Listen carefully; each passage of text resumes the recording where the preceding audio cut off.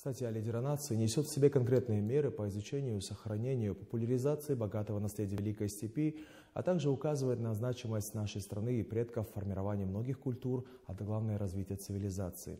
Стратегически важный документ сегодня был обсужден на площадке региональной службы коммуникаций.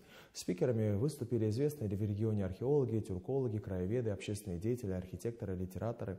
Отмечено, что история является неотъемлемой составной частью любого государства. Статья «Лидера нации» является новым новым важным шагом модернизации именно исторического сознания. Важно также, что президент обозначил семь пространственно-временных контента с охватом практически каждой ступени исторического зарождения и развития на территории нашей страны и влияния на развитие других культур и цивилизаций. К примеру, всадническая культура. Правильно отмечено, что одомашнивание лошади и последующее ее использование во многих сферах от сельского хозяйства до военного направления и караванных перевозок до выведения различных пород. Помимо этого, развитие металлургии.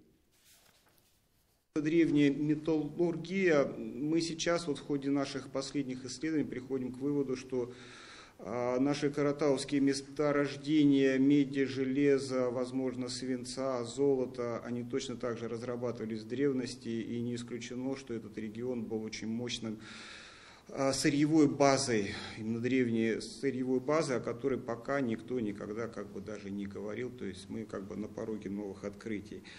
Э, третье – это звериный стиль. Э, ну, у нас, конечно, э, видите, мы можем подойти по-другому и обыграть этот посыл.